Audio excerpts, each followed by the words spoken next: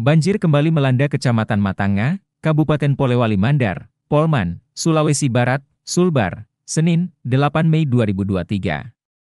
Setelah diguyur hujan deras sejak pukul 14 Wita, hingga sore hari, menyebabkan sungai Matanga Polman meluap. Sungai yang meluap tersebut berada di belakang rumah warga, tepatnya di Kelurahan Matanga menyebabkan salah satu rumah warga hanyut di bawah aliran sungai yang begitu deras.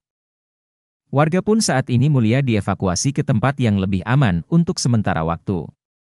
Kapolsek Matanga, Ibda Burhan Umar mengatakan saat ini warga mulai evakuasi secara mandiri.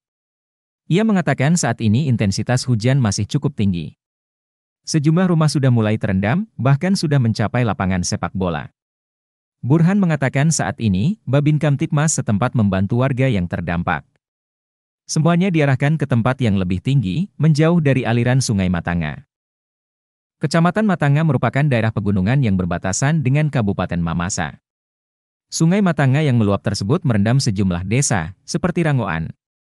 Meluapnya sungai tersebut sudah menjadi yang kedua kalinya di pekan terakhir ini.